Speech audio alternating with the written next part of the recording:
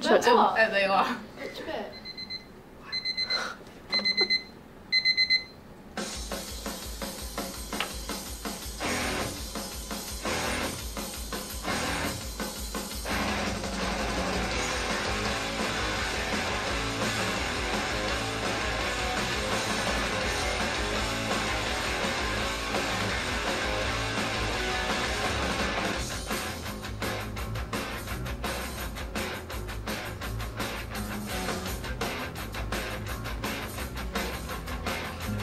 I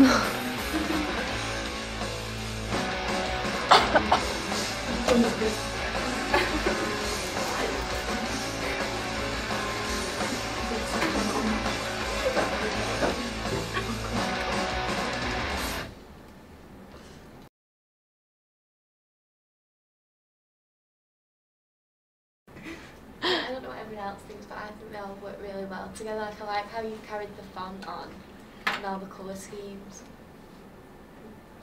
Um, I like the editing between clips and uh, like the transi- transitions and stuff.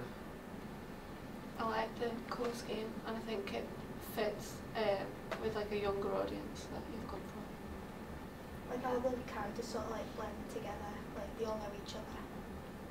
Yeah, I like the stereotypes, like, conforms to like what you expect. It's a bit too girly for me. Because it's pink and glittery. So I think it is aimed at girls rather than boys. Yeah, I think girls would really relate to it though, especially going through high school.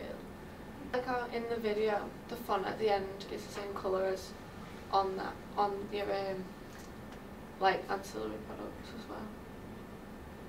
Yeah, I think it's good as well because even though it is the pink, I think it does go with the school theme. I think like the lined paper on the back of the DVD cover works really well as well.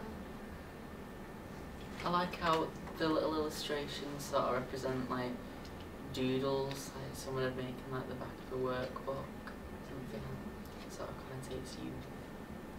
Yeah, and all the symbols like relate to the stereotypical group that they're in.